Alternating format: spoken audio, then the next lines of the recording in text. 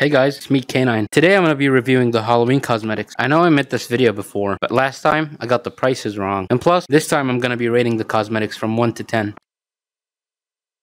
And one more thing, the music in this video is made by my friend Potato Monki. I'm gonna tag him and please go subscribe to his YouTube channel. And thanks for 9k followers. K9, 9k, K9, 9k. And now it's time for the Halloween cosmetic review. Boom. New cosmetics available to purchase during the month of October. Please enjoy the free hat as well. Remember, I'm going to be rating them as I go. Okay, so first up, we got the Boo hat. This was obviously free, and I rated 6 out of 10. I think this is the best free item. Next up, we got the Witch Nose. This costed a 1000 and I rated uh, 5 out of 10. And then we have the Mummy Toilet Paper Wrap. I have this on another account. I give it a 5 out of 10. And this costed 1500 And then we got my favorite out of these four items, Little Pumpkin Dude. This costed 2000 and I rated 8 out of 10. And then we got the Drippy Do-Rag. This costed 1500 and I rated a 7 out of 10.